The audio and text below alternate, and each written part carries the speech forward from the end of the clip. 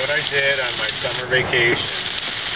I woke up, went down to the drugstore to look for a job. Then I hung out. Second day of my summer vacation, I woke up, went down to the drugstore to look for a job.